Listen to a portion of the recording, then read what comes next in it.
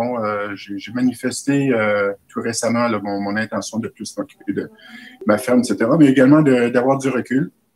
Puis je dirais que la, formule qui était amenée par trois individus au sein du conseil d'administration de vouloir gérer ça en collectif, euh, sans que les personnes se parlent directement, euh, pour moi, ça ne correspond pas du tout, du tout, du tout à mes valeurs.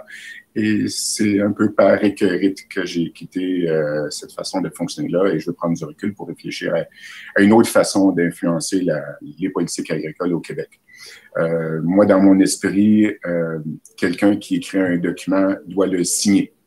Euh, et d'écrire des communiqués de presse en Google Drive et d'attendre deux ou trois semaines de réflexion, est-ce que chacun a encore des virgules à apporter?